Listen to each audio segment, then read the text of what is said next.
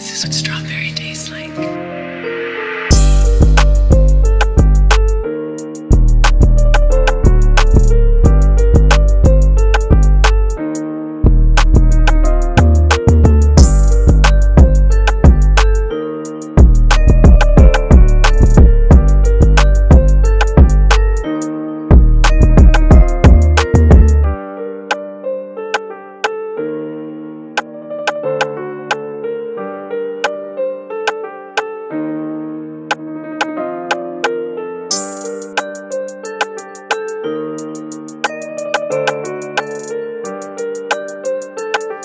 This is what strawberry tastes like.